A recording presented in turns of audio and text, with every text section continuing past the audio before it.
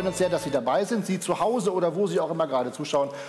Und selbstverständlich auch unser Publikum, unser tolles Publikum heute Abend hier im Kammermusiksaal. Die nächste Stunde geht es um resiliente Infrastrukturen, also belastbare, stabile Infrastrukturen, die wichtiger sind als je zuvor. Nach Lecks an Gaspipelines oder auch nach Anschlägen auf die Deutsche Bahn, die den Lahmver die Bahnverkehr lahmlenkten und einem neuen Höchststand von Cyberangriffen zweifelt heute kaum noch jemand an der Notwendigkeit von resilienten Infrastrukturen. Und, meine Damen und Herren, wir sind mit unserem Thema hochaktuell. Gucken Sie mal hier. Ich habe den Generalanzeiger von gestern mitgebracht. Okay, gestern, aber ist ein Tag. Und was steht da? Kritische Infrastruktur im Visier. Das ist unser Thema heute. Das haben die Kolleginnen und Kollegen tagesaktuell vom Generalanzeiger gestern gehabt. Also ich finde, da sind wir genau richtig aufgestellt. Und mit unseren vier Gästen denke ich auch. Denn, begrüßen Sie ganz herzlich, wir haben mit dabei Ralf Tiesler, den Präsidenten des Bundesamtes für Bevölkerungsschutz und Katastrophenhilfe, kurz BK, BBK. Da bin ich letztens übrigens zufällig, weil ich auch in Bonn wohne, vorbeigekommen, dachte, Mensch, guck mal, hier ist das BBK, musste den Stau umfahren in Bonn und ich wusste auf einmal, Mensch, den Präsidenten haben wir Mittwoch auf einmal zu Gast bei uns, schön. Ähm, ja, er darf sich um die Gewährleistung des Schutzes der kritischen Infrastruktur sorgen und Gedanken machen. Das darf er auch darüber. Aber darf er auch noch mehr? Aber so Leute, so Leute zum Schutz an die Gaspipeline stellen, das dürfen sie nicht. Also ist es dann eher nur so weisungsbefugt, aber also, oder es, wie, wie, muss man sich das vorstellen bei Ihnen? Ja, erstmal vielen Dank, äh, dass ich heute hier sein kann und äh, in dieser äh, Runde mitdiskutieren darf. Ja, in der Tat sind kritische Infrastrukturen ein Thema, mit dem wir uns nicht erst seit den Explosionen der Gaspipeline und der Störung bei der Deutschen Bahn, den Sabotageakten auseinandersetzen, sondern das Thema ist schon seit einigen Jahren ein Thema, weil kritische Infrastrukturen für unser Überleben halt ähm, existenziell sind. Äh, es geht um Verkehr, es geht um Energie und es geht um Kommunikation, Logistik. Logistik ist ein Thema, das uns auch beschäftigt, vor dem Hintergrund, dass wir einen erheblichen Personalmangel überall haben. Und da, wo kein Personal die Waren zu uns bringt, fehlen die uns. Und da sind auch teilweise Waren dabei, die wir für unser Überleben brauchen, Nahrungsmittel beispielsweise. Aber Sie haben es schon länger auf der Agenda, klar, wir haben war Ihres lange, Jobs, aber bei der Bevölkerung kommt es immer mehr an. Es wird immer mehr ein Thema mit der kritischen Infrastruktur. Also das Thema für uns ist, dass wir sensibilisieren. Wir sind, nicht, wir sind keine Strafverfolgungsbehörde mhm. oder keine Behörde, die so etwas verhindern kann, aber äh, kritische Infrastruktur werden von Privaten ja im Wesentlichen inzwischen äh, betrieben. Das war mal anders. Heute sind kritische Infrastrukturen 80 zu 80 Prozent in privaten Händen. Und die müssen erstmal für ihre Verantwortung, die sie mhm. dafür haben, auch sensibilisiert werden. Und gleichzeitig sensibilisieren wir natürlich auch diese Gesellschaft für dieses Thema. Silke Krebs ist mit dabei, die Staatssekretärin im Ministerium für Wirtschaft, Industrie, Klimaschutz und Energie. Das ist eine ganze Menge des Landes NRW. Sie haben mitten, wie soll ich sagen, mitten in der Polikrise äh, ähm, begonnen, Ihren Job. Pandemie, also Corona, Ukraine-Krieg, Klimakrise, das alles in diesem Sommer, also Ihr, Ihr Amt übernommen.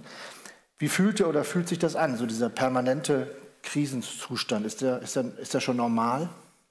Nee, ich glaube, normal ist der nicht. Ähm, und das, das war natürlich eine, schon eine Herausforderung, also neu in ein Haus zu kommen ähm, und zu wissen, äh, da ist jetzt, da sind jetzt mehrere akute Krisen, die ja. da gemanagt werden. Man muss möglichst, also mein Impuls war auch, jetzt muss ich möglichst schnell rausfinden, was da schon gemacht wurde in Sachen Gas, in Sachen Energie, in Sachen Strom und Gott sei Dank feststellen können, dass da schon ähm, alle am Arbeiten waren und die Vorbereitungen und die Absicherungen laufen.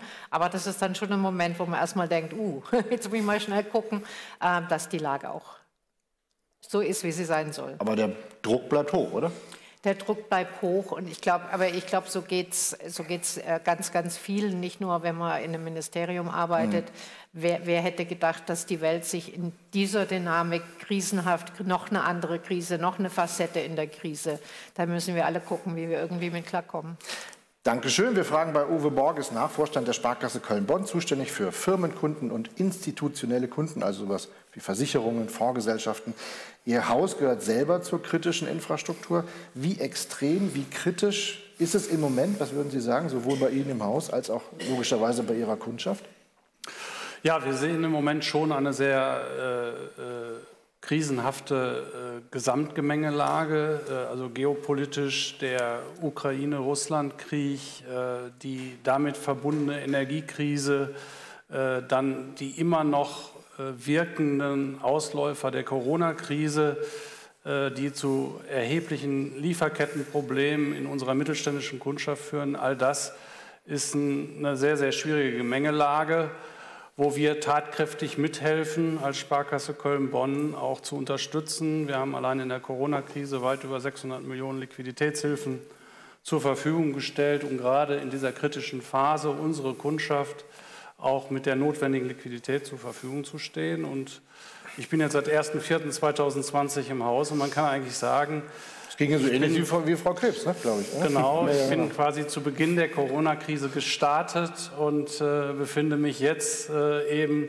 in der Krise, die aus diesem wirklich schlimmen Krieg, äh, der von, von Russland angezettelt worden ist, äh, jetzt entsprechende Wirkungen hat. Und die Wirkungen sind ja wirklich es ist existenziell für viele äh, Unternehmerinnen und Unternehmer, äh, angefangen mit den wahnsinnig hohen Energiekosten, äh, jetzt in der weiteren Folge mit der Inflation, mit einer sehr, sehr stark festzustellenden Konsumzurückhaltung, äh, die also jetzt wirklich zu managen ist. Und hier verstehen wir uns wirklich als Partner an der Seite unserer Kunden, da auch zu helfen, äh, um halt gut durch diese Krise zu kommen.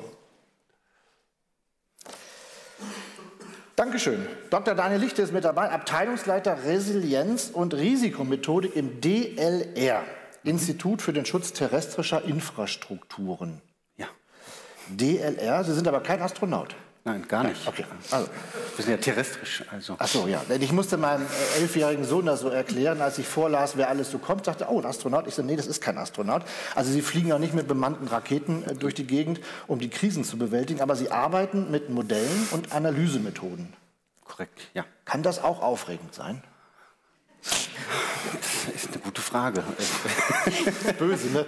Ja, Nein, aber war, gar nicht, so, war gar nicht so böse gemeint. Na, natürlich, sonst würden wir es nicht machen. Ja. Ne? Also ähm, ich glaube schon, dass es aufregend ist. Ich glaube, man lernt auch viel. Ähm, zumal ähm, ich glaube, dass ja auch einfach vielleicht ein gesellschaftlicher Auftrag dahinter steckt. Sonst gäbe es ja auch unser Institut gar nicht. Und ähm, wir haben es ja gerade schon gehört, ich glaube, dass äh, die Bedeutung äh, dieses Begriffs der Resilienz und auch des Risikos mhm. an sich, glaube ich, gerade wieder ja, im Aufwind ist und äh, viel Zuspruch erfährt, ähm, was eben auch die Betreiber zum Beispiel der kritischen mhm. Infrastrukturen angeht, ähm, die auch merken, dass sie da deutlich mehr vielleicht machen müssen in vielen Bereichen. Und dabei können wir dann hoffentlich unterstützen, uns besser machen. Gebe ich die Frage doch gleich mal weiter, die ich auch in im Grunde an Herrn Borges gerade auch schon gestellt habe, so der Blick zurück, was hat sich verändert, was hat sich in den letzten zwei Jahren geändert mit Blick auf kritischer und resilienter Infrastruktur? Ist es praktischer geworden oder wie würden Sie es beschreiben? Hm, praktischer? Ich glaube, es ist mehr in den Blick geraten zunächst mhm. mal. Ne? Also ich glaube, es gibt ja immer oder gab ja immer schon die Kreise, die sich damit beschäftigt haben, also äh, mit physischer Sicherheit beschäftige ich mich, also eher was Angriffssicherheit angeht von eben solchen Infrastrukturen seit jetzt mittlerweile zehn Jahren, glaube ich, in der Wissenschaft. Das BBK gibt es jetzt auch schon ziemlich lange ähm, und ist jetzt eher in den Fokus gerückt. Unser Institut gibt es jetzt eben knapp vor Corona, glaube ich, gegründet worden, also seit etwas mehr eben, oder so ungefähr drei Jahren. Ähm, aber jetzt kommt es, glaube ich, hoch. Also es ist viel im Verborgenen passiert in diese Richtung. Ähm, also fernab der Öffentlichkeit, möchte ich mal sagen, mhm. der großen Öffentlichkeit, weil man das als gegeben hingenommen hat. Äh, solche Infrastrukturen sind da, Strom kommt aus der Steckdose, solche Dinge. Ähm, und so langsam wird den Leuten bewusst, dass vielleicht so eine Infrastruktur doch nicht einfach da ist und das mehr dazu gehört. Und ähm, ja, das macht es natürlich für uns jetzt äh, einfacher. Deswegen bin ich ja auch vielleicht hier. Ja, ja, auf jeden Fall. Wir sind sehr froh, dass Sie da sind. Aber die Frage geben wir auch mal an Herrn Tiesler weiter. Was hat sich da in den letzten Jahren geändert? Was hat sich da auch im, im, im Bundesamt verändert? Ich behaupte, früher kannte das Amt niemand. Und heute äh, sind Sie immer mehr präsent. Also niemand würde ich jetzt bestreiten. Ja, okay, ich weiß, der Journalist übertreibt gerne. Ja, genau. Also die, die Fachcommunity kennt uns sicherlich gut, äh, das kann man definitiv sagen.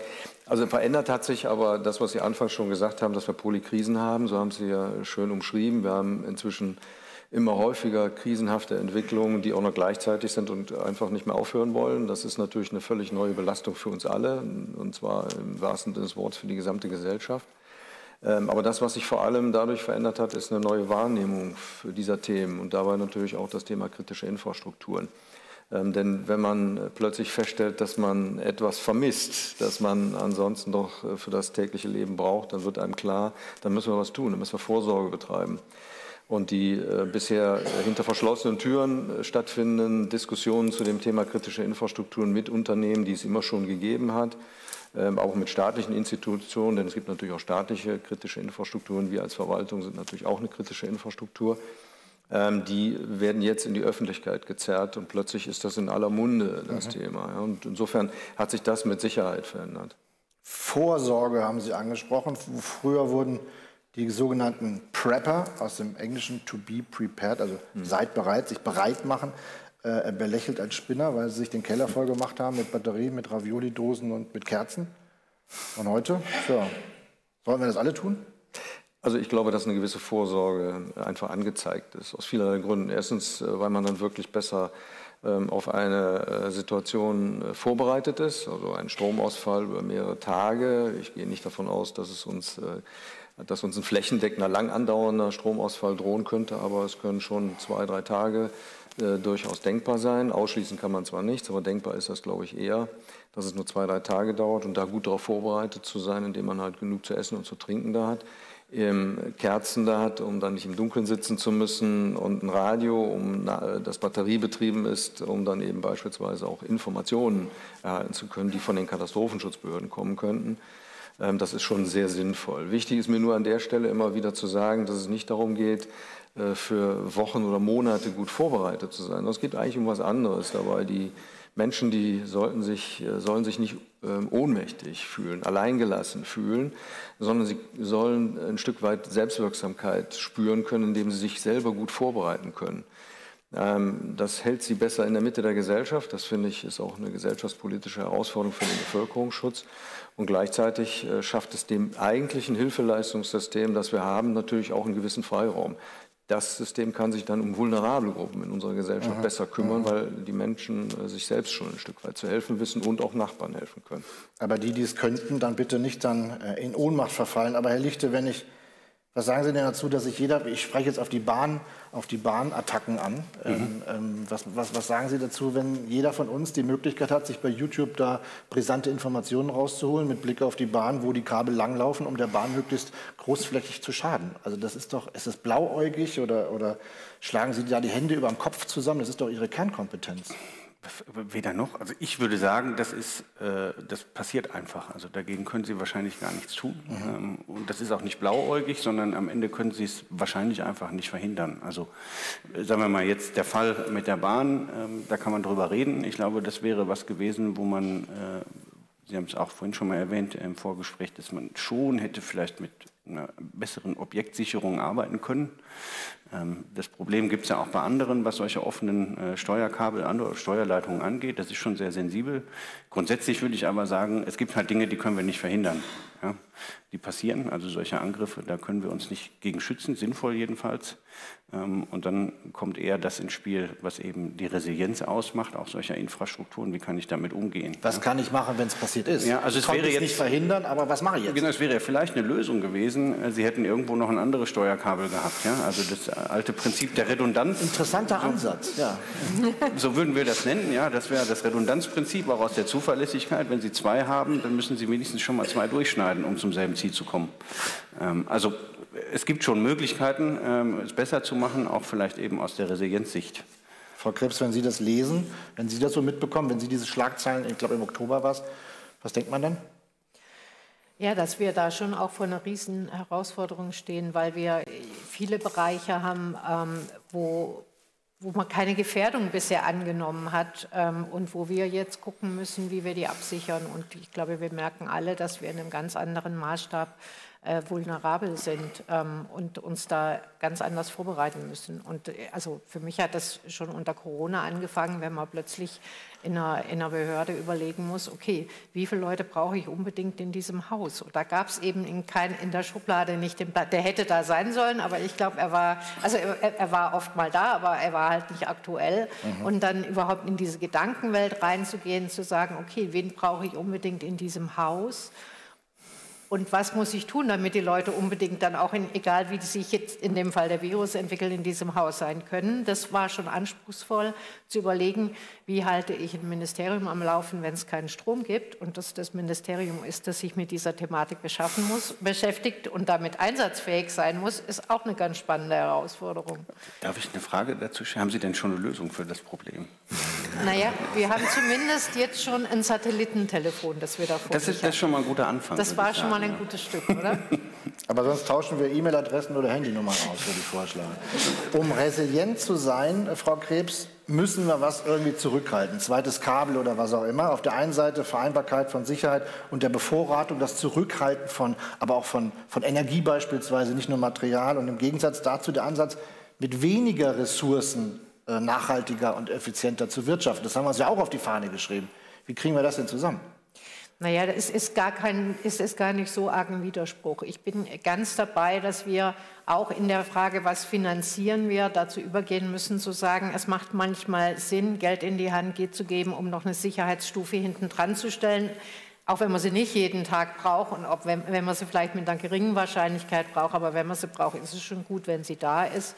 Aber wir haben, können auch eine Menge gewinnen, gerade im Energiesystem, ähm, wenn wir besser in der Laststeuerung werden, wenn wir flexibler werden in der Möglichkeit. Also wir haben ja jetzt auch in einer akuten Situation ist zwischen vielen Ländern auch die Möglichkeit, Energie über die Grenzen zu übertragen, ausgebaut worden. Wir merken, wir brauchen jetzt nicht nur Nord-Süd ähm, Energietrassen, wir brauchen sie jetzt Ost-West, die müssen wir uns anlegen. Wenn wir das mal haben und haben Nord-Süd und Ost-West, sind wir in der Krise viel flexibler zu sagen, wie wir Energie auch mal an einem Problem vorbeileiten können. Also da, da, ist schon, da ist schon eine Menge tun, aber da läuft auch schon eine Menge. Aber Herr Tiesler, müssten wir das nicht vielleicht auch mal sagen oder der Bevölkerung, der Bevölkerung sagen, ein universelles, ein generelles Sicherheitsversprechen gegenüber der Bevölkerung ist einfach nicht möglich? Das können Sie nicht Dafür können Sie nicht garantieren natürlich? Das, das kann auch niemand garantieren. Und deswegen ist ja Resilienz auch eines unserer Themen. Ähm, das ist sowohl global ein Thema, deswegen ähm, gibt es auch eine, Uni, also eine globale äh, Strategie zu dem Thema durch die Vereinten Nationen. Und Deutschland hat sich ähm, dazu national verpflichtet und das hat das Kabinett äh, in diesem Jahr beschlossen, eben eine nationale Resilienzstrategie auch tatsächlich zu verfolgen. Und die hat im Endeffekt äh, den Sinn und Zweck, dass die Menschen, dass wir alle als Gesellschaft uns äh, besser vorbereiten, anpassen an, an, den möglichen Ausfall nicht nur von kritischen Infrastrukturen, sondern eben auch an, das, äh, an Ereignisse wie, wie die Ahrtal-Katastrophe beispielsweise und dass wir selber Vorsorge treiben, dass wir Risikoanalysen machen, dass wir Pläne machen, wie wir besser mit solchen Situationen umgehen können, dass wir Reserven anlegen, die Geld kosten. Also effizient ist an, an der Stelle ein schwieriger Begriff, finde ich, weil es nicht um Wirtschaftlichkeit hier gehen kann, sondern hier geht es darum, unser Überleben am Ende des Tages ja auch zu sichern und das darf ruhig Geld kosten, finde ich. Also insofern ähm, glaube ich, ist mit, der, mit dem Thema Resilienz, Resilienzstrategie ähm, der richtige Weg gefunden worden, um auch Antworten darauf zu liefern, äh, dass eine Gesellschaft ähm, insgesamt Beiträge dazu liefern kann und muss, wie sie besser in solchen Situationen überleben kann. Aber generell, also ein generelles Sicherheitsversprechen kann das es da gar nicht geben. Nein, wer hat da den schwarzen nicht. Peter in der Hand, Frau Krebs? Wer, wer, wer, muss sich da der Öffentlichkeit gegenüber beichten, dass es das eben nicht gibt? Dieses, ist es die Politik? Ist es die Verwaltung? Vielleicht ist es auch Kirche vielleicht, ja. Zweifel ist es ja, also ich jammern auch ohne Zweifelsfall ist es immer die Politik, die es hätte tun müssen. Äh, zumindest ist so der Eindruck, wenn man Politik macht. Ähm, ich glaube, da sind wir alle miteinander gefragt. Also mhm. es ist manchmal spannend, wie sehr eine öffentliche Debatte abweicht von dem, was der normale Alltagsverfahren, äh, Erfahrung ist. Jeder weiß, dass es keine hundertprozentige Sicherheit gibt. Jeder weiß es im alltäglichen Leben. Und natürlich geht es in der Summe auch nicht anders, aber man kann eben sich überlegen, welchen Grad an Sicherheit wollen wir und dafür kümmern wir uns auch, dass sie da ist. Das heißt ja nicht, wenn es nicht 100 Prozent gibt, ist, ja. Äh, kann man auch nichts machen, sondern äh, wir haben es jetzt bei den Gasspeichern gemerkt, 95 Prozent fühlen sich dann schon mal gefüllt deutlich besser an. Mhm. Also ich kann aus meiner Erfahrung äh, auch nur sagen, äh, eine hundertprozentige Sicherheit gibt es bei dem Thema nicht. Äh, wir gehören ja auch zur kritischen Infrastruktur, deswegen beschäftigen wir uns natürlich auch mit diesen Notsituationen. Wir haben ein Notfallhandbuch entwickelt und ich, ich kann nur aus der Erfahrung, die wir selbst mit unseren Notfallplänen sagen, dass es unheimlich wichtig ist, sehr planerisch an das Thema ranzugehen, ganz viele Szenarien durchzuspielen, vollständigen Stromausfall beispielsweise bei uns ist, ist natürlich ein Riesenthema. Äh, wozu führt das? Äh, und so viel kann ich Ihnen sagen, dass wir zumindest Notfallpläne entwickelt haben, auch, was uns auch wichtig ist, so etwas mit Dienstleistern, mit denen man in der Wertschöpfungskette zusammenarbeitet, zusammen durchzuspielen, aber zumindest sicherzustellen, dass zum Beispiel bei uns in unserer Branche die Bargeldversorgung für unsere Kunden weiter sichergestellt ist. Und gerade an der Schnittstelle zum Kunden äh, versuchen wir ganz viel Beratung zu machen, zu sensibilisieren, dass gerade vor dem Hintergrund äh, der, der Cyberrisiken äh, es immer wichtiger wird, dass man verantwortungsvoll im Online-Banking beispielsweise mit PIN und TAN umgeht, dass man ein sicheres Passwort verwendet, dass man bei merkwürdigen, zweifelhaften E-Mails grundsätzlich nicht auf die Anhänge klickt, dass man äh, im Zweifelsfall immer äh, sich mit dem vertrauten Sparkassenberater kurz mal austauscht äh, und nicht irgendwie leichtsinnig irgendwelche Daten weitergibt. Das sind alles so, so Grundregeln, die wir auch versuchen im Kundengeschäft als, als Sensibilisierungsmaßnahme prophylaktisch zu positionieren. Und ich glaube, das ist, was man tun kann. Aber man muss ehrlich bleiben, man wird keine hundertprozentige Sicherheit schaffen.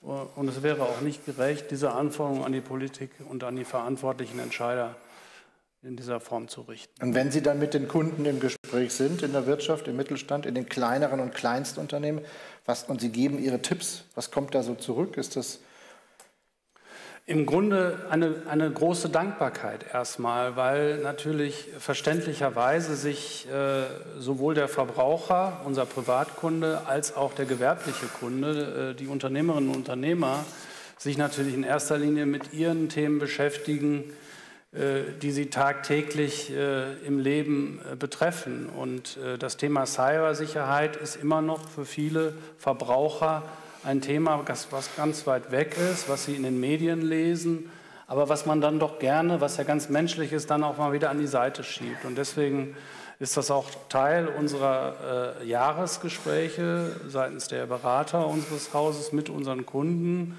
dass wir gerade über solche Themen wie Cybersicherheit zunehmend intensiver sprechen. Ne? Im Übrigen muss man sagen, das Thema Sicherheit insgesamt ist ja auch schon in der analogen Welt ein großes Thema für die Bank- und Sparkassenindustrie gewesen, weil wir haben eine Verantwortung für die Tresore, da mussten wir für Sicherheit sorgen, müssen auch heute weiter für Sicherheit sorgen. Wir haben eine Verantwortung äh, für das große Thema unserer Kundeneinlagen.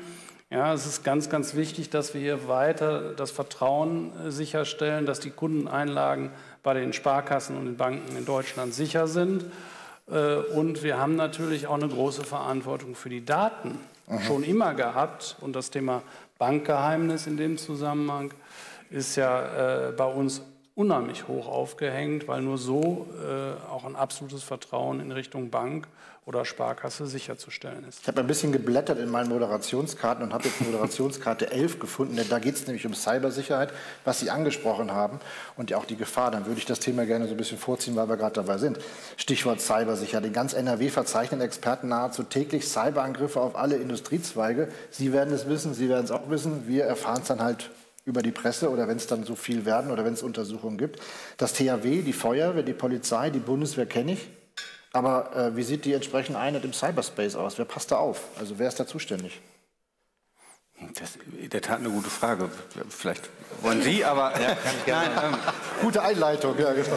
Cyber, Cybersicherheit ist natürlich da, wo wir über kriminelle Aktivitäten sprechen, natürlich immer eine Frage auch der Strafverfolgungsbehörden, die sich damit auseinandersetzen. Auf Bundesebene ist das Bundeskriminalamt, das Bundesamt für Sicherheit und Informationstechnik die in dem Kontext sind. Aber am Ende ist es die Industrie auch selbst, die einen Beitrag dazu leisten muss, äh, dass Cybersicherheit auch dann gewährleistet äh, wird. Das haben Sie eben gerade auch selbst beschrieben.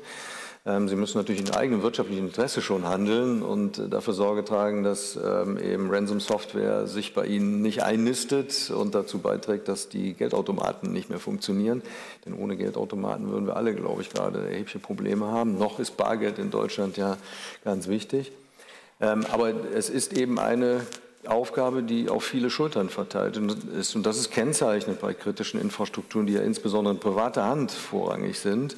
Ähm, aber eben nicht nur, dass man eben mit allen Akteuren versucht, gemeinsam Lösungen zu finden. Das fängt mit der Sensibilisierung an, das fängt mit gemeinsamen Risikoanalysen an und endet natürlich dann am Ende auch in der Strafverfolgung und in der Vorbereitung auf eben den Fall, der dann eintritt mit, mit Fragen, wie können wir das dann besser verhindern oder wie können wir den Schaden so minimieren wie nur irgendwie möglich.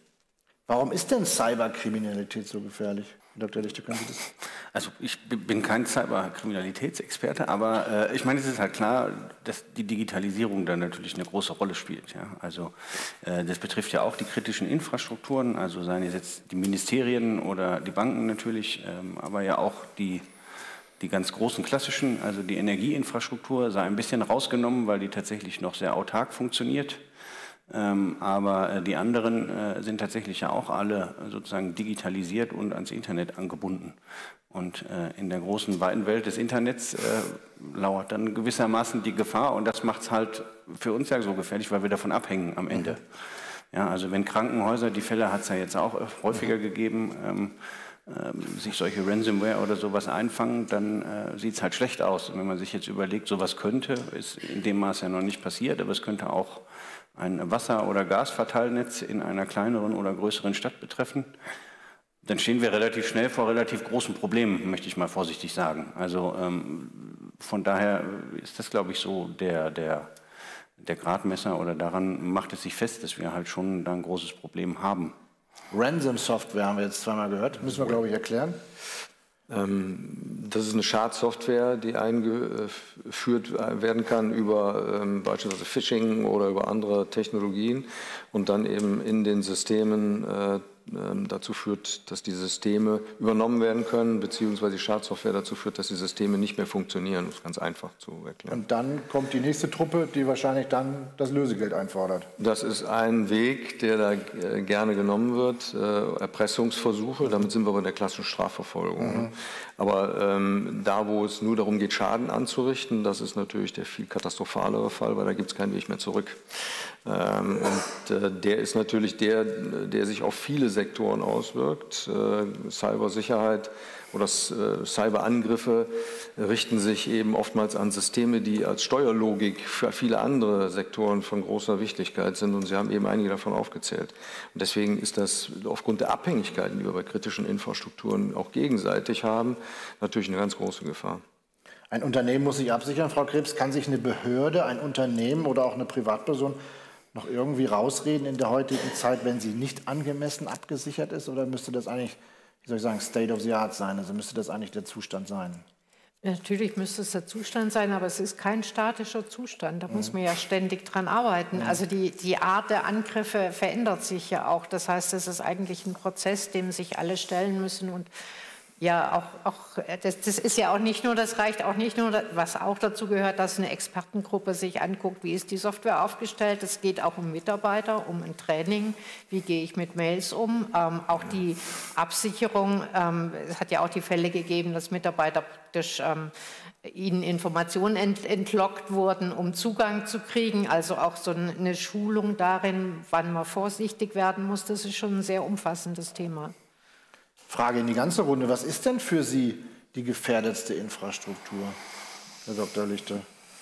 Die gefährdetste oder die? Die gefährdetste. Also ist es der Strom, ist es das Internet, ist es die Heizung, ist es das Wasser, ist es was zu essen, ist es die also, mal, also, wenn wir von den Auswirkungen sprechen, würde ich immer noch behaupten, dass es tatsächlich das äh, Stromnetz ist, also die Übertragungsnetze, weil Sie da natürlich für alles andere benötigen Sie Strom. Sie können sich jetzt überlegen, äh, wofür Sie keinen Strom benötigen sind Sie ziemlich schnell am Ende der Überlegungen angekommen, vermutlich, außer wenn Sie jetzt die Kerze ins Fenster stellen. Ähm, also ähm, ja, also salopp gesprochen, aber es ist tatsächlich so und das haben wir auch, äh, haben wir auch mal eine Studie gemacht, da gibt es ja aber auch einige Studien dazu, ähm, dass eben die Ausfälle von Strom, sagen wir mal, in urbanen Gebieten äh, über, sagen wir mal, Zeiträume von sechs Stunden, also längere Ausfälle, das ist schon nicht sehr äh, schön, sage ich mal. Also weil eben so viel dranhängt. Sie haben die Krankenhäuser, die dranhängen, wo sie auch nicht wissen, ob der Notstrom immer funktioniert. Das ist ja auch immer noch so eine Zuverlässigkeitsfrage. Der Supermarkt macht das wahrscheinlich zu. Ich, ja, genau. mhm. Die Tankstelle funktioniert leider auch nicht mehr. Ähm, und äh, wenn Sie jetzt dann noch darüber nachdenken, dass jetzt in den letzten Jahren vermehrt zum Beispiel diese, ähm, wie heißen sie, diese Beatmungsheime oder sowas aufgekommen sind, wo es zum Teil gab, meine ich, korrigieren Sie mich bitte, wo es keine Vorschriften gibt, was Notstrom angeht. Das ist ähm, schwierig. Das ist natürlich eine Situation, die dann sehr schnell sehr dramatisch wird. Mhm. Ja. Mhm. Strom, Herr Borges, ist die Bank dann auch zu? Ja, also wie gesagt, wir, wir stellen uns natürlich im Rahmen unserer Notfallpläne auf diesen hundertprozentigen Stromausfall aus. Ich bitte um Verständnis, dass, dass ich bewusst natürlich jetzt nicht hier äh, in Details gehe zu unserem Notfallplan für den hundertprozentigen Stromausfall. Aber so viel kann ich, wie gesagt, sagen, äh, dass, ich, äh, dass wir auf jeden Fall die Bargeldversorgung weiter sicherstellen können. Ne? Aber wenn ich jetzt noch mehr aus dem Nähkästchen plaudern würde, dann ist das natürlich wieder ein wunderbarer Ansatz, auch äh, wieder äh, kriminelle Energie zu erzeugen. Was glauben Sie, was wir dann für Klickzahlen hätten, oder? Nein, aber äh, tatsächlich war ja die Frage nach der gefährdetsten Infrastruktur, dann wäre das für Sie auch der Strom? Aus meiner Sicht wäre das in der Tat, äh, so wie es Herr Dr. Lichter mhm. ausgeführt hat, die dramatischste Auswirkung für unsere Gesellschaft, äh, weil eben Strom heutzutage in alle Gesellschaftsbereiche hineinreicht. Ja. Und insofern äh, ist das das Hauptaugenmerk, auf das man den Blick richten mhm. sollte. Vielleicht, vielleicht, noch als Ergänzung, Bitte. das ist vor allem das, glaube ich, was äh, sozusagen den kurzfristigsten Impact hat. Ja? Also wenn wir jetzt über Lebensmittel oder sowas sprechen, das ist, glaube ich, auch extrem gravierend und schwerwiegend. Das merken Sie aber jetzt nicht. Also das merken Sie in einem halben Jahr oder in drei Monaten ähm, oder auch Lieferketten, das sehen wir ja jetzt. Ja, das verzögert sich alles nach hinten und irgendwann äh, kommt dann der Riesenstau oder dann kommen die Probleme. Das merken Sie aber nicht sofort. Aber wenn der Strom ausfällt, ist es äh, eben bei unserer Abhängigkeit so, dass das mehr oder weniger instantan äh, zu Problemen führt. Definitiv. Auch Herr Tiesler nickte, ne? Strom, glaube ich, als ist, das, also oder Energie. Energie, Strom ist äh, ein, eine Schlüsselinfrastruktur für viele andere Infrastrukturen. Deswegen das äh, auch äh, mit den Abhängigkeiten, das können wir im Alltag selber erleben, wenn bei uns fünf, sechs Stunden der Strom ausfallen würde und Sie gucken dann in Ihre Gefriertruhe hinein. Also dann sehen Sie schon die Auswirkungen, deswegen auch unmittelbar. Ähm, und ähm, es gibt dann natürlich weitere Infrastrukturen, die ebenfalls auch noch aufgrund ihrer Abhängigkeiten zu anderen kritischen Infrastrukturen noch wichtig sind. Das ist Kommunikation. Was machen Sie ohne Kommunikation heute? Ähm, das ist sicherlich das nächste Thema, aber Kommunikation ohne Energie funktioniert auch nicht. Ja. Ähm, und dann würde ich natürlich immer das Thema Verkehr und Logistik nehmen. Also das ist ein, eine Infrastruktur, die wir alle brauchen, denn wir sehen es ja gerade selber an den Lieferketten, die unterbrochen sind, äh, weil wir entweder Personalmangel haben oder weil eben Chips nicht da sind, die Fahrzeuge für Fahrzeuge wichtig sind. Und daran können wir sehr schnell feststellen, wie wichtig äh, eine, äh, für eine Gesellschaft es ist, dass solche Infrastrukturen auch einfach da sind. Und das ist ja unser Erleben. Es ist einfach da. Sie haben es vorhin mit dem Strom aus der Steckdose genannt. Äh, man könnte natürlich auch sagen, Milch kommt aus der Tüte. Ja, also das sind alles so Beispiele, die deutlich machen, wie, wie abhängig wir von solchen Infrastrukturen sind.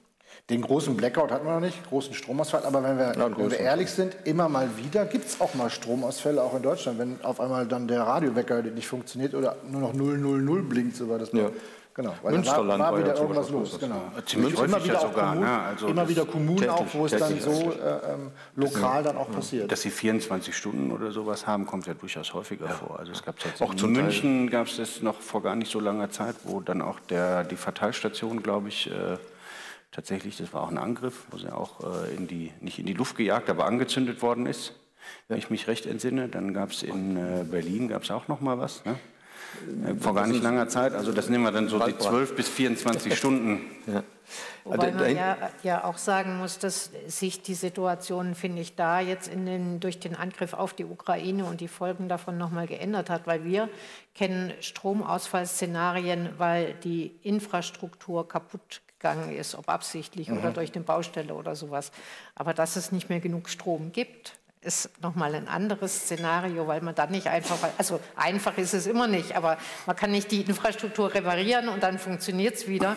Und deswegen ist schon das Thema Energiesparen und sich da so auch auf den Winter vorbereiten eins, das uns auch wirklich ganz, ganz wichtig ist, neben dem Thema, dass die Leute bitte keine Heizlüfter kaufen äh, und die Gasheizung sparen und lieber mit dem Strom heizen. Aber das Thema, sich darauf vorzubereiten, dass die Energiemenge knapp werden könnte und das ist dann auch was, was nicht so ganz einfach zu beheben ist. Und das können wir aber Gott sei Dank mhm. verhindern, wenn wir jetzt ein bisschen sparsamer sind. Und die Ukraine ist auch, äh, so furchtbar das klingt, für uns natürlich jetzt Beispiel geben. Wir können sehen, zu welchen Auswirkungen das führt. 40 Prozent, glaube ich, der Energieversorgung in der Ukraine ist im Augenblick zerstört oder gestört. Und jetzt kann man genau die Effekte sehen, die da eintreten. Und Sie müssen und, dazu sagen, Entschuldigung, als Ergänzung, dass Sie ja tatsächlich auch nur äh, Knotenpunkte angegriffen ja, worden sind. Also genau. Es geht nicht darum, dass Sie jetzt das ganze Netz in Schutt und, äh, Schutt und Asche gelegt hätten, sondern wenn man weiß, wo, dann kann man tatsächlich mit, äh, mit, mit nicht so viel Aufwand sehr viel erreichen.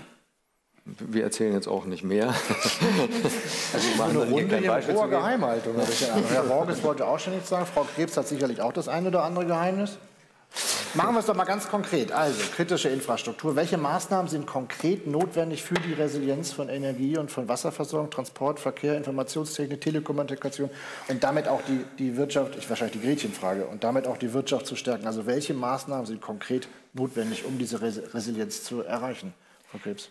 Also das eine ist, das ist schon gefallen, Notfallpläne zu machen und da auch wirklich gründlich drüber nachzudenken, also sich wirklich in die Situation reinzudenken und dann zu üben. Weil im Üben von einem Notfall merkt man oft noch entscheidende Sachen, die dann doch nicht funktionieren. Und so müssen wir alle, tun wir auch, ähm, jeweils die Pläne machen, Übungen machen und die auch immer wieder, das haben wir vor Corona oder während Corona gemerkt, nicht dann drei Jahre in der Schublade liegen lassen und denken, der passt schon noch. Herr Dr. Lichte, üben ist wichtig. Welche Maßnahmen, welche Maßnahmen sind konkret noch wichtig?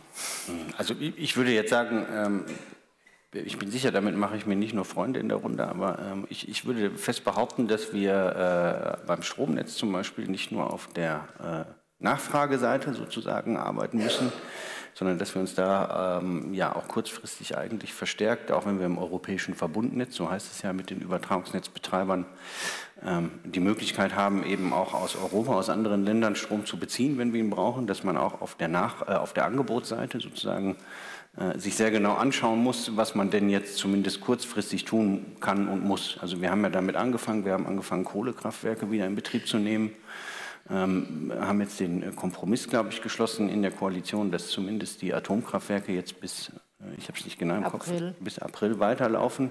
Und ich glaube, auch da muss man, auch wenn das sehr unangenehm ist, die Situation weiter beobachten, was jetzt nicht gegen die grundsätzliche Linie spricht, nicht, dass Sie mich falsch verstehen, ähm, aber weil wir kurzfristig ja jetzt einfach ein Problem haben. Ja. Aus der Resilienzperspektive ist jetzt sozusagen in diese Energiewende, die gerade aufgebaut wird, ist jetzt dieser Stressor von außen, der Störfaktor reingekommen, dass wir das Gas nicht mehr bekommen. Das ist aber ein wichtiger Baustein, sonst funktioniert es nicht. Das muss man so sagen. Ne? Also ohne das Gas funktioniert es mit, mit den äh, erneuerbaren Energien nicht im Moment. Wenn die Speicher nicht haben, also müssen wir halt zusehen, dass wir eigentlich auf der Angebotsseite sozusagen, aber auch versuchen, neben dem Sparen auch natürlich, aber dass wir auch versuchen, die Angebotsseite sozusagen hochzuhalten, weil dann kommen wir auch zur Wirtschaft, äh, um den Kreis zu schließen, äh, weil wir da natürlich gucken müssen, dass wir äh, Energiepreise nicht unendlich bezahlen können und dass wir natürlich auch in Wirtschaftsstandorten ein großes Problem kriegen. Ja, das ist so ein Kaskadeneffekt, den wir jetzt ja schon sehen. Ähm, gerade hier in der Region mit der Chemieindustrie, die sehr energieintensiv ist, natürlich auch viel vom Gas abhängt, ähm, dass die natürlich in arge Bedrängnis geraten bei den Energiepreisen und die auch gar nicht mehr das Spar, aus meiner Perspektive wenigstens gar nicht das Sparpotenzial haben, um jetzt mal zu sagen, wir sparen 20 Prozent Energie ein, weil Energie war schon lange nicht so günstig in Deutschland, sodass da die Sparpotenziale nicht in der Größenordnung vorhanden sind. Sie haben gerade gesagt, Sie machen sich mit Ihren Aussagen jetzt nicht nur Freunde in dieser Runde, aber ich glaube, Frau Krebs ist relativ ruhig geblieben. Ja, das, das Thema, ähm, das diskutieren wir jetzt vielleicht und nicht unbedingt, ob nach April die Atomkraftwerke noch länger laufen. Aber Herr Morgens, dann gehen wir doch weiter, dann gehen wir die Frage mal weiter an die ja, Wirtschaft. Genau. genau. Die Maßnahmen, die konkreten Maßnahmen, Sie haben ja schon einige aufgezählt. Was, was, was, wie kann man es vielleicht noch ergänzen? Was ist wichtig? Ja, ich bin ja als Firmenkundenvorstand tagtäglich begleite ich ja äh, die, den Mittelstand hier in der Region und äh, von daher bin ich auch regelmäßig im Austausch darüber, wie geht man jetzt mit dieser krisenhaften Situation um, wie ist man als kleines und mittleres Unternehmen, wie kann man sich resilienter aufstellen vor dem Hintergrund der Rahmenbedingungen der, der Wirtschaftskrise, die wir haben. Äh, und da würde ich äh, vielleicht mal drei Punkte hervorheben, die aus meiner Sicht äh, ganz, ganz wichtig sind für den Mittelstand. Der eine Punkt ist, dass man sehr, sehr konsequent diese beiden Megatrends Digitalisierung und insbesondere auch Transformation in Richtung erneuerbare Energien, CO2-Neutralität zu einem ganz großen Agendapunkt der strategischen Agenda des jeweiligen Unternehmens macht. Also dieses Thema wirklich anzugehen als, als jemand, der, der sagt, ich muss mein eigenes Geschäftsmodell daraufhin weiterentwickeln, dass ich beispielsweise CO2-Neutralität in meinem Geschäftsmodell auch tatsächlich in den nächsten 15 Jahren sicherstellen kann. Ich glaube, das ist eine ganz, ganz wichtige Maßnahme zur Resilienz äh, der, des Unternehmens. Der zweite Punkt ist natürlich immer, man sagt so schön, Cash is King. Ich muss einfach schauen, dass ich äh, sicherstelle, dass mein Unternehmen jederzeit liquide ist.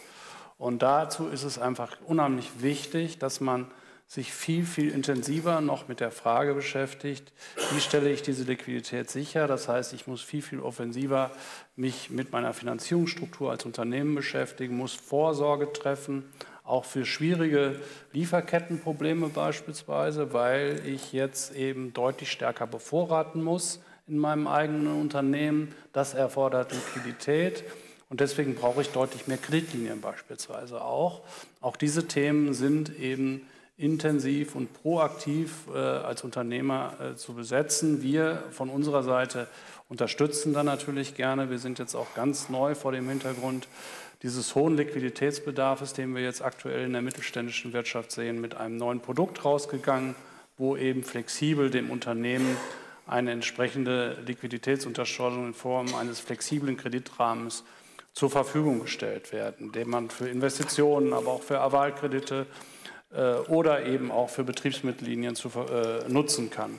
Und äh, der dritte Punkt ist, dass man wirklich sehr konsequent die Risiken äh, gestaltet und managt. Und typische Risiken im Mittelstand sind natürlich beispielsweise Adressenausfallrisiken, sind Währungsrisiken, gerade äh, bei dem Mittelstand, der richtigerweise sich entschlossen hat, Exportmärkte zu erschließen, aber auch auf der Beschaffungsmärkte äh, entsprechend sich in den letzten zehn Jahren in Richtung Beschaffungsquellen beispielsweise in China oder in den USA oder in Taiwan weiterentwickelt hat.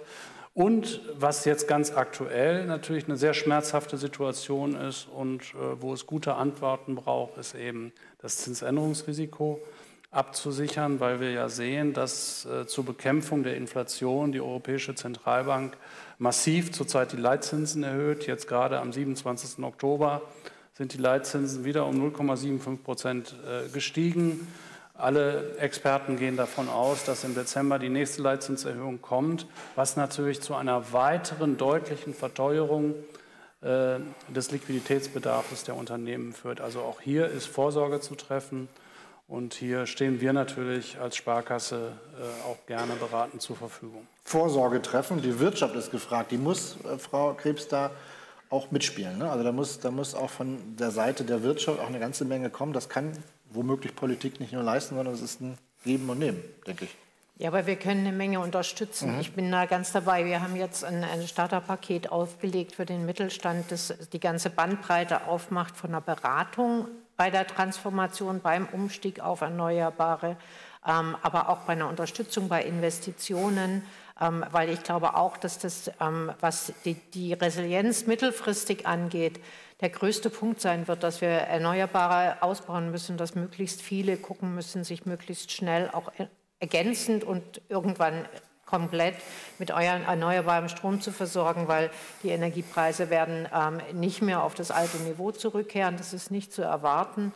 Ähm, was das Gas angeht, ähm, und die, die, die Unsicherheitssituation, keiner von, von uns weiß, wann sie beendet ist. Das heißt, eine stabile Energieversorgung vorzubereiten und sich möglichst schnell, möglichst viel zu erschließen. Dabei unterstützen wir auch sowohl was Beratung angeht, als auch was die Finanzierung, also Investitionskosten, Zuschüsse und so weiter angeht. Also Vorbereitung ist wichtig, Schnelligkeit ist aber auch wichtig. Wir müssen aktiv werden, wir müssen aktiv sein. Wir als Deutsche gelten bei einigen aber durchaus als sicherheitsverliebt oder als perfektionistisch und machen ungern Kompromisse. Lieber alles selber hundertprozentig richtig machen, auch wenn wir womöglich damit zu spät kommen, weil andere schneller waren? Ist das die Gefahr? Also was zum Beispiel den erneuerbaren Ausbau angeht, muss man sagen, da hat man natürlich sich einige Pausen erlaubt in den letzten Jahren, wo man sich jetzt ganz arg wünschen würde, man hätte sie sich nicht erlaubt. Also wir könnten im äh, der Windkraft, Offshore-Wind deutlich weiter sein, wenn wir nicht mal eine Deckelung hätten. So ein stabiler, schöner, stetig fließender Offshore erneuerbarer Strom wäre jetzt wirklich was wert in der Situation. Also das eine ist, wenn man weiß, dass was notwendig ist und passieren muss, nicht ohne Not sagen, na ja, vielleicht dann in fünf Jahren. Das ist ähm, schon ein guter Weg. Und ich glaube, auch die Gefahr ist immer so dieses daran aufzugeben, zu sagen, ich kann es eh nicht absolut sichern, ähm, dann, dann, das ist mir zu kompliziert, dann mache ich gar nichts. Jeder Schritt in die richtige Richtung ist wichtig und dann macht man den nächsten hinterher so als privates Beispiel, ich glaube, so geht es ja auch vielen. Ich war mir lange, hatte ich auch so ein bisschen schlechtes Gewissen, oh, das mit den Passwörtern sind jetzt auch nicht alle so ganz sicher, wie die ich da habe.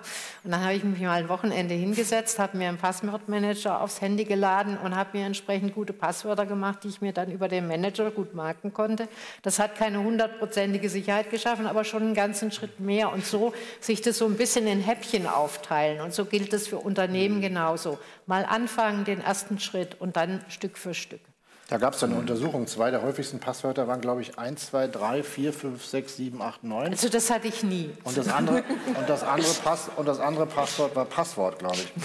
Äh, Herr Dr. Lichte. Also wenn ich das nochmal sagen ja, darf, was ein ganz einfaches Rezept ist und was, was ich nur jedem empfehlen kann, ist, egal ob es der Verbraucher ist oder das Unternehmen ist, dass man anfängt, selber Energieerzeuger zu werden, indem man einfach eine Photovoltaikanlage beispielsweise, wenn man Eigenheimbesitzer ist, äh, aufs Dach macht oder in den Betrieben entsprechend äh, dafür sorgt, dass man sich völlig autark aufstellt. Das sind, das sind Maßnahmen, die man sehr schnell umsetzen kann und wo auch von unserer Seite beispielsweise, aber sicherlich nicht nur von uns, von vielen Banken und Sparkassen hier eine entsprechende Unterstützung gewährt wird.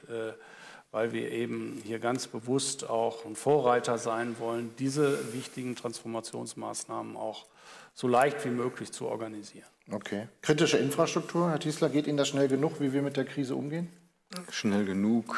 Ähm, also was ich glaube, was wichtig ist, und das ist gerade hier aus den, den Antworten, finde ich, äh, schon sehr deutlich geworden, das ist, dass das Thema Resilienz, äh, gerade bei dem Ausfall von kritischen Infrastrukturen, nicht einem einzelnen Akteur überlassen werden kann, sondern am Ende tatsächlich auch eine gesellschaftliche Frage ist. Der Einzelne kann was sicherlich dazu beitragen, aber am Ende kommt es darauf an, dass alle gemeinsam auch handeln können.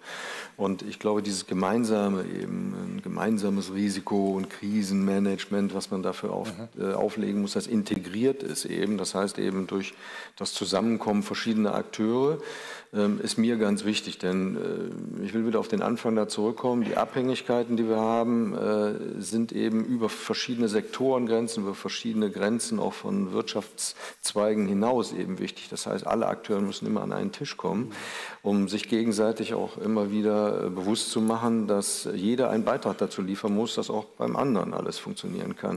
Und ich glaube, das ist das, was man als positiv für das Thema auch beschreiben kann.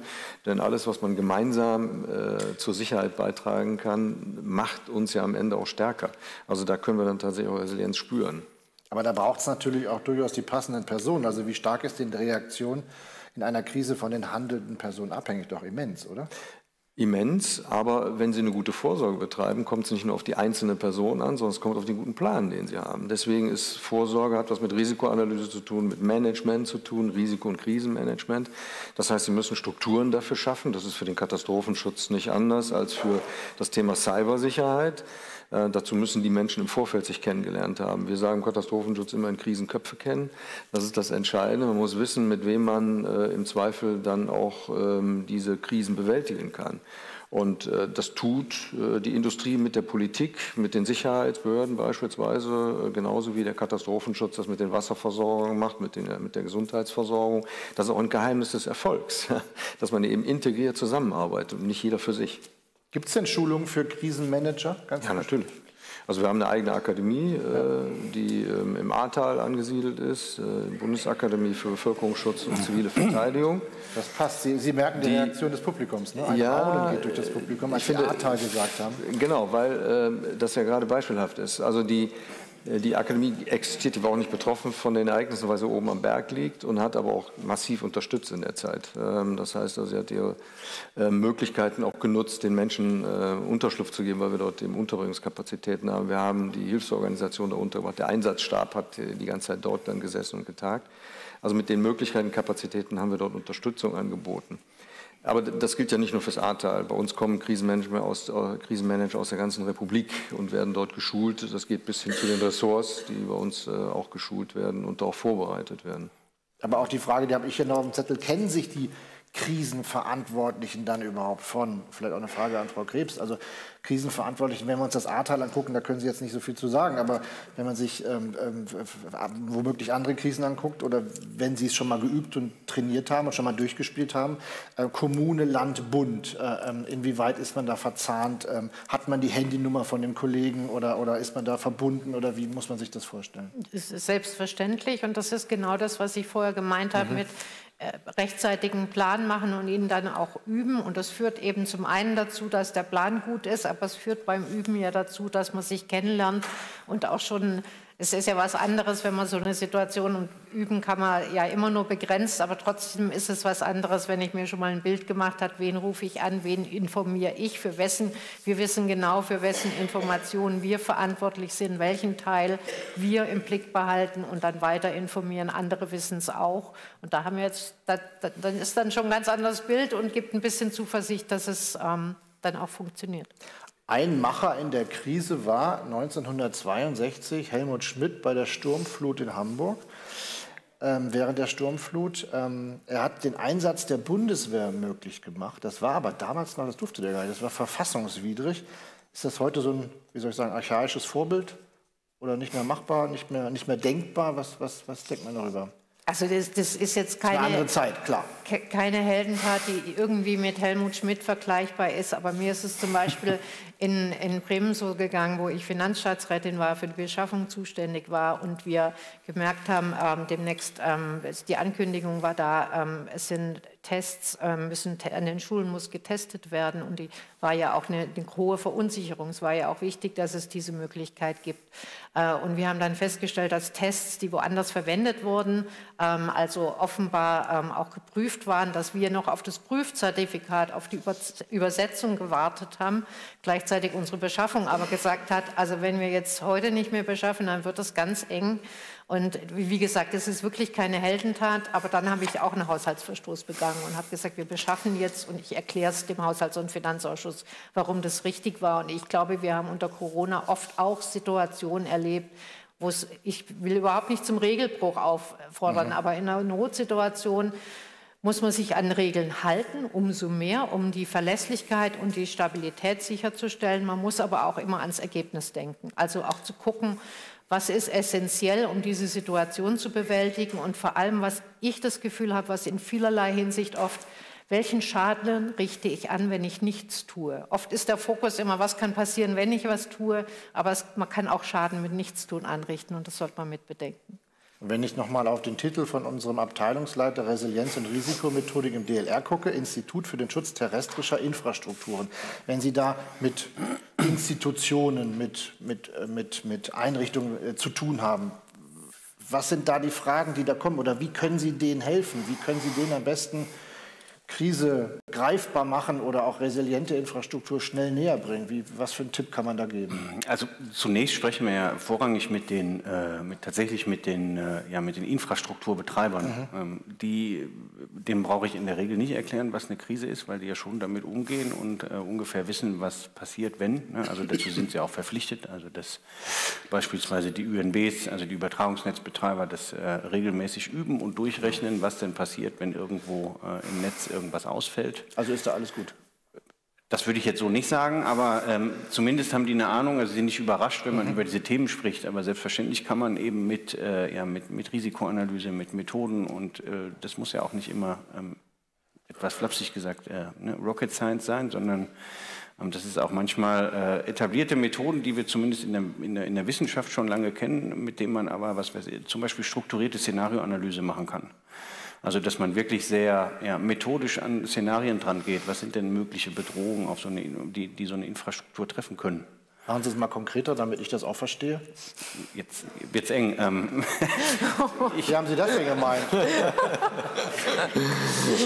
nein, äh, das hat gar nichts mit Ihnen zu tun, aber so. das ist natürlich vertraulich. Aber es geht im Ach Grunde so. genommen, wenn wir über Angriffsszenarien sprechen. Ja? Äh, wenn wir über Angriffsszenarien sprechen, das kann ich halt äh, sozusagen als Brainstorming, wie man das so schön nennt, machen. Dann schreibt halt jeder auf den Zettel, was ihm gerade eingefallen ist. Ähm, oder man versucht es halt methodisch in so einem Expertenkreis äh, ja, aufzulösen oder mit einem methodischen Heransatz zu wählen, äh, Ansatz zu wählen, um dann wirklich ja, sagen wir mal, konsistente Szenarien und genau die, die jetzt auch eingetreten sind, äh, auch rauszufinden oder zumindest gesehen zu haben. Ja? Also wer hätte daran gedacht, also ich will jetzt nicht behaupten, dass wir äh, diese Nord Stream 2 Sache vorausgesehen hätten, aber solche Angriffe fallen dann unter den Tisch, weil sie nicht denkbar erscheinen. Mhm. Ähm, das, ne, also sie haben sehr große Auswirkungen, sind aber sehr unwahrscheinlich in der Wahrnehmung vieler. Wenn wir es aber methodisch tatsächlich betrachten, dann schließen wir die aber ein, weil sie in sich konsistent sind. Also das kann passieren. Ne? Das ist nicht wahrscheinlich, aber es kann passieren. Eine der Herausforderungen ist ja gerade auch eben schwarze Schwäne zu sehen. Ne? Das ist der, die Umschreibung dafür, dass wir eben Dinge sehen, die wir nicht erwarten hätten würden. Und das gehört mit zu den Methoden eben dazu, dass man versucht, äh, out of the box zu denken und eben sich äh, mit Risiken auseinanderzusetzen, die erstmal überhaupt nicht auf der Hand mhm. liegen. Ne? Das ist natürlich eine Kunst und misslingt äh, auch sicherlich öfter. Äh, sonst würden wir solche Ereignisse ja nicht erleben. Aber ähm, das gehört eben mit dazu, dass man ein Bewusstsein dafür schafft. Und das ist für Infrastrukturbetreiber eben ganz wichtig, sich mit dem Thema Risiko auseinanderzusetzen. Ja, und da eben tatsächlich auch Pläne für eine anständige Vorsorge auch zu betreiben. Das machen einige, ähm, nicht alle. Ja, und ähm, das kann man mit Sicherheit sagen, dass es da auch Infrastrukturbetreiber gibt, die sich da schwer tun äh, und erst lernen, wenn es dann passiert ist. Aber wir sind mit allen äh, großen Partnern, mit Verbänden da eigentlich in einem ständigen Dialog, um hier zu sensibilisieren für dieses Thema, damit es eben insgesamt durchdringt und man äh, sich besser aufstellt. Beim Bundesamt für Bevölkerungsschutz und Katastrophenhilfe gibt es zum Beispiel ja auch einen Ratgeber für Notfallvorsorge und richtiges Handeln in Notsituationen.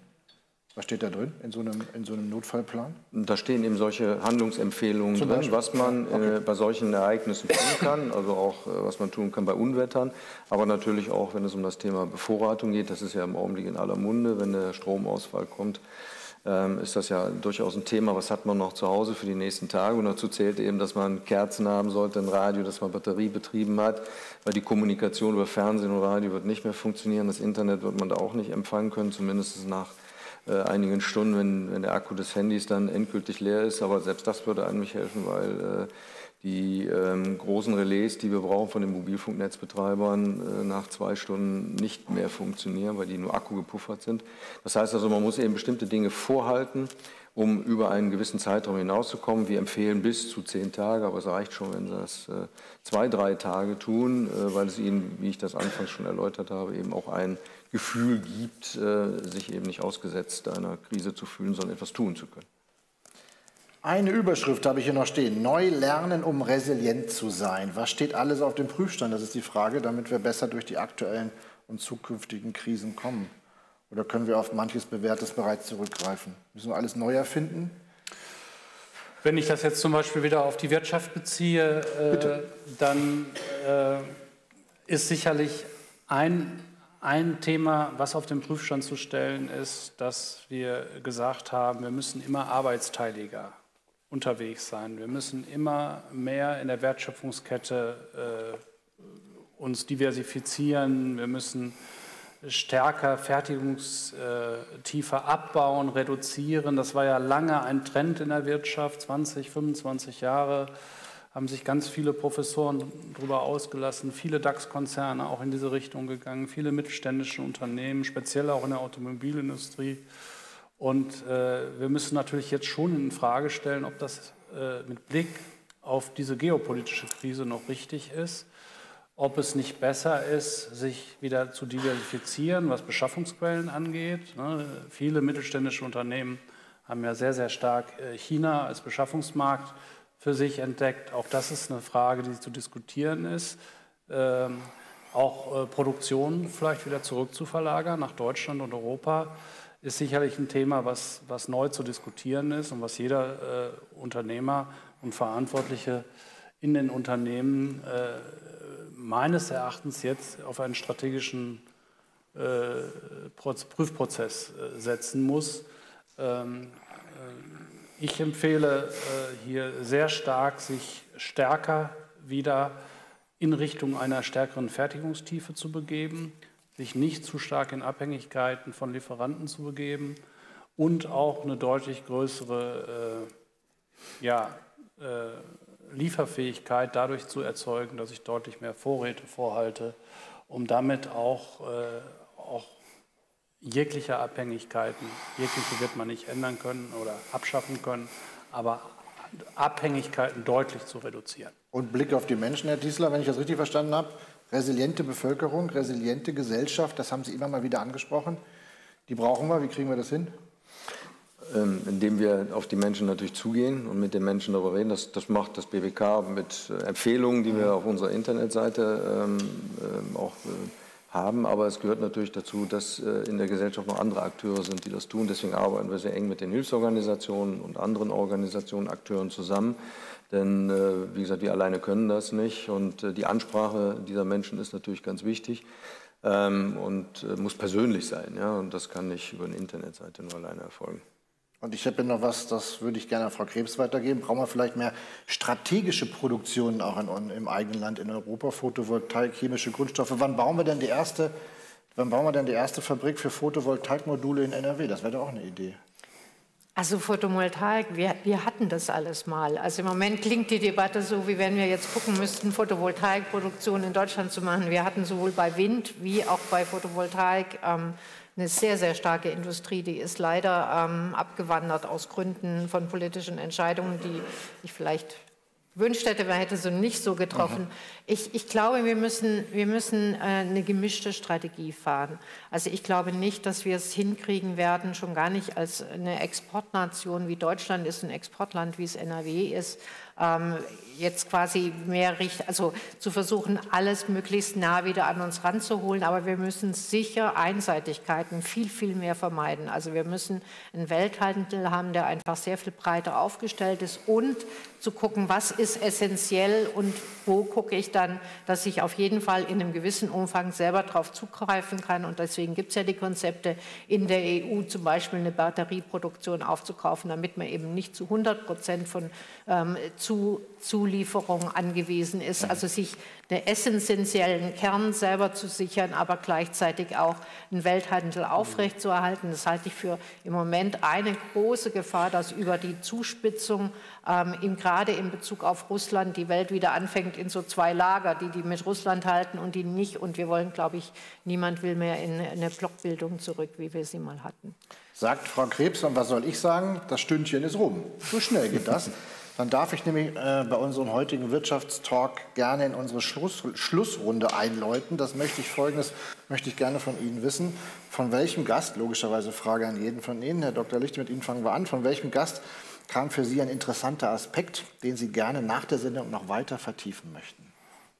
Ich, ich glaube, die Antwort ist ziemlich einfach. Ja, Sie, ja, Sie haben es ja vorher erwähnt, wir haben uns noch nie persönlich getroffen, ähm, obwohl wir sehr nah beieinander sind. Ähm, also ähm, ich würde natürlich gerne mit dem BBK-Präsidenten noch mal persönlich sprechen. Wie geht es Ihnen, Herr Tiesler, Sie auch? Äh, natürlich, gerne. Was sollen Sie jetzt sagen? Ne? Also, Nein, Sie sind aber frei, seien Sie frei. Also ich, ich, würde mich eigentlich mit allen gerne noch weiter unterhalten. Ich fand gerade die letzten äh, Beiträge, die gekommen sind, nochmal sehr spannend, äh, was, den, was die Fragen der Diversifizierung angeht, beispielsweise der Tiefe, äh, was die Fertigung angeht. Das sind alles spannende Themen, ähm, die, die, ich gerne nochmal in einem Nachgespräch beleuchten würde. Und das Ganze hat natürlich eine politische Dimension. Herr Borges, welcher interessante Aspekt und mit wem? Also ich kann mich auch nur Ihren Worten anschließen. Ich würde mich gerne mit allen noch mal treffen und ich habe noch mal für mich so äh, bin noch mal auch heute Abend durch die Runde sensibilisiert dafür, diesem Thema Resilienz, äh, Sicherheit in der Infrastruktur noch mal äh, auch persönlich einen ganz anderen Fokus zuzumessen. Und Frau Krebs, wie geht's Ihnen? Also ich fand es unwahrscheinlich spannend, den Austausch. Ich äh, muss sagen, ich nehme besonders, habe für mich äh, gesagt, mitnehmen das Thema, wenn man, wenn man versucht, äh, Pläne für Krisensituationen zu machen, bewusst auch daran zu denken, dass man nicht in den Pfaden bleibt, sondern sich bewusst systematisch durcharbeiten, schwarze Schwäne in den Blick zu nehmen und wirklich zu sagen, habe ich auch alles, was passieren könnte, auf dem Schirm und vergesse ich da nichts. Das fand ich nochmal einen sehr, sehr wichtigen Hinweis. Ja, dann vielen Dank an Sie, vielen Dank für die kurzweilige Unterhaltung, vielen Dank an unser Publikum, vielen Dank an Sie zu Hause oder dort, wo Sie gerade sind. Und dann war da noch die Überlegung, mit welchem Zitat ich diese Talkshow beenden könnte. Augenzwinkernd selbstverständlich. Und da hilft mir immer der Autor Mark Twain, der amerikanische. Was hat er gesagt? Wir schätzen die Menschen, die frisch und offen ihre Meinung sagen, vorausgesetzt sie meinen dasselbe wie wir. In diesem Sinne einen schönen Abend und Tschüss.